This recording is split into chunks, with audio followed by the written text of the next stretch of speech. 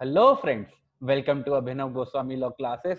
So friends, in this video, we are going to discuss a very, very important topic of Indian copyright law. The name of the topic is moral rights, friends. So what are these moral rights? So friends, as it is a specialized area, so this lecture will not be limited to Indian copyright law. We will look at the history of moral rights, then we look at international conventions, then finally we will come back to what is the position in India? What does the Indian Copyright Act says about it? So it will be a comprehensive lecture covering each and every crucial point regarding law of moral rights. So friends, it may happen that this lecture may be divided into two or three parts depending on the size of the lecture. So friends, with this, let's start with it. So friends, the first thing that you need to understand about this uh, lecture is that what is essentially meant by moral rights. What are moral rights? As the term suggests moral rights is does it have anything to do with morality or is it? So the first thing i will like to clarify is that though the term used is moral rights it does not have anything to do with morality concept the moral concepts. Okay friends it is just a term that has been used it, it is being used for a very long time. So it it was appropriate to use the same term but it does not refer to the moral principles and moral conventions that used to be there. Okay friends? So first we will uh, uh, first thing we need to clear in our mind is that it is not the moral law that we are learning. We are actually talking about a particular legal concepts legal principles which are binding on people as any other law. Okay friends? So with this what are moral rights? So friends before going into this we need to understand one point. So friends the copyright law what is the basis of copyright law?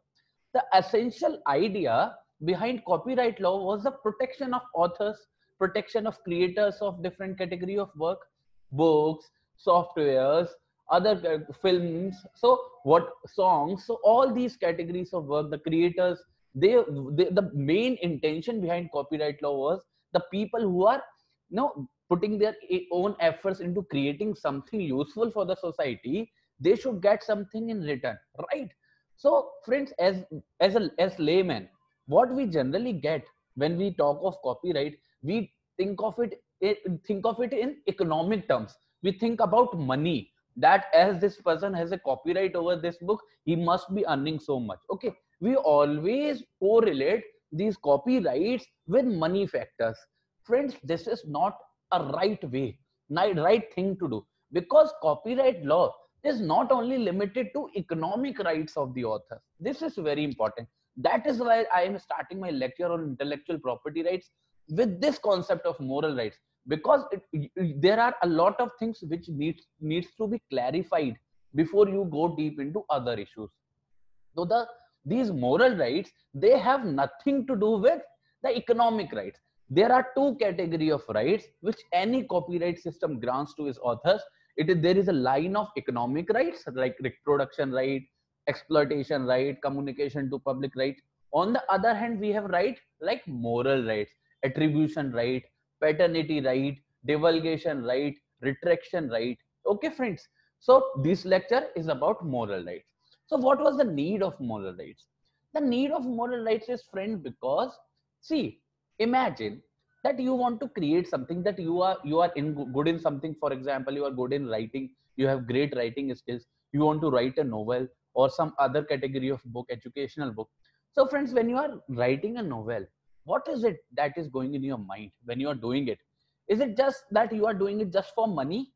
I've seen, I can give you thousands of examples when people go on to do such category of things on the basis of their passion leaving behind much more fruit, fruitful things fruitful jobs which were which from which they were they could earn or they were actually earning. A lot of money still they still they came into this profession and started writing or singing or whatever. Okay friends following their passion.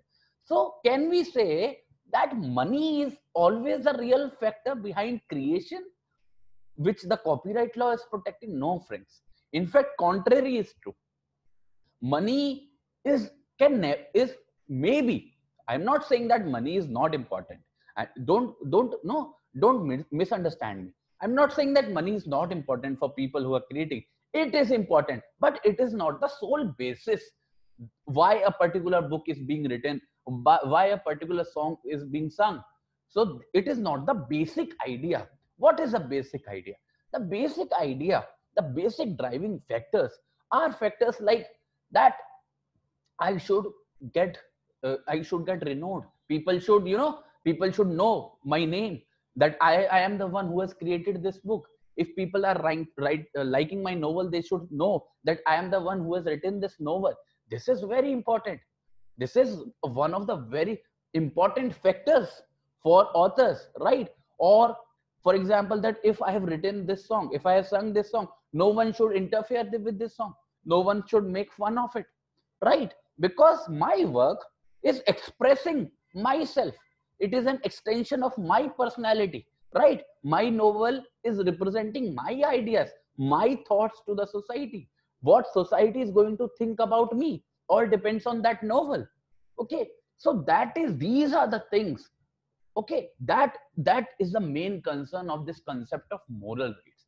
Okay friends so what are the essential concerns that we need we we are addressing actually under this concept of moral rights? Friends i accept beforehand that there is a wide category of moral rights. If you go into the laws of different nations copyright laws of different nations you will find a variety of moral rights. But today for our lecture we are going to limit uh, this discussion on moral rights to three broad based categorized moral rights. The first we will discuss about right of paternity. Right of paternity or it is also known as right of attribution it means that the person who has created a particular work must be recognized for it. It should mention his name. Okay so the person who are receiving that work they must know who the author is this is called right of attribution or right of paternity.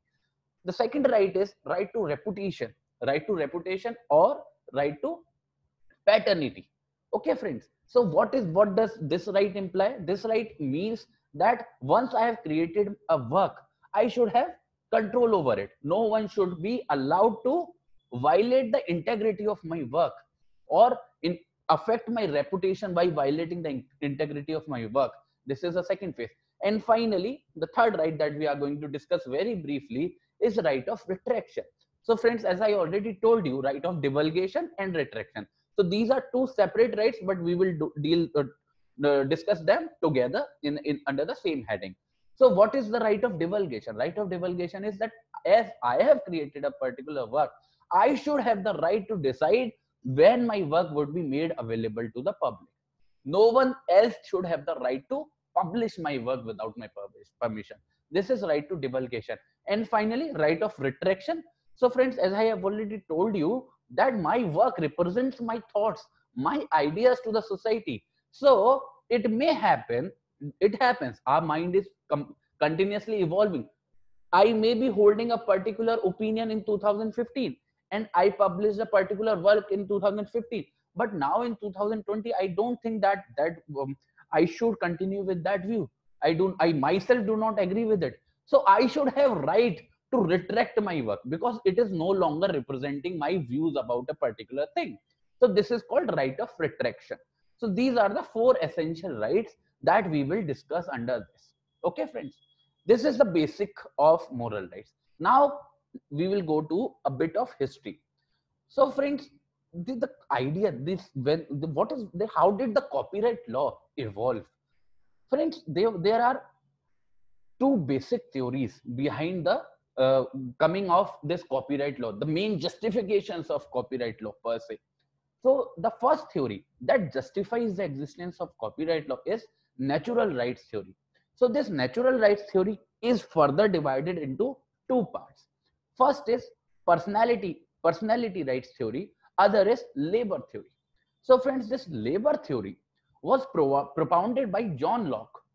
What was the saying of John Locke? John Locke used to say that if i am putting particular efforts yeah so if i am creating a particular work i am working hard for that i am putting my efforts i am giving my time right so if that work become complete it once it completes it is useful for the society i should be paid for my hard work, for my labor. This is a basic idea behind labor theory. Okay, so on that basis, this uh, the, the law tried to justify copyright law that as the authors put their own efforts into creating a particular work, they should get a return for it. On the other hand, we have personality theory. Personality theory was propounded by Immanuel Kant. The main saying of Immanuel Kant was that a particular work, when a particular person creates a particular work, it becomes that work becomes a part of his personality. That if I if I am writing a particular book, particular novel, that has become part of my personality. Okay, it is depicting my personality to others. So that is the reason that I I should have control over this work, right? This is what the personality theory says. The third theory, that is a utilitarian theory, Thus, the, utility, the utilitarian theory was propounded by Jeremy Bentham. The main saying of Jeremy Bentham was that we are not concerned about labor. We are not even concerned about personality. What the basic idea behind copyright law should be that as the author has created something which is useful for the society, which has use, utility for the society, society should give back should give back to the author something so that the author is no awarded for his efforts. Okay? So don't get confused between labor theory and utility theory. Labor theory is wanting a return out of your because of your efforts or because of your hard work.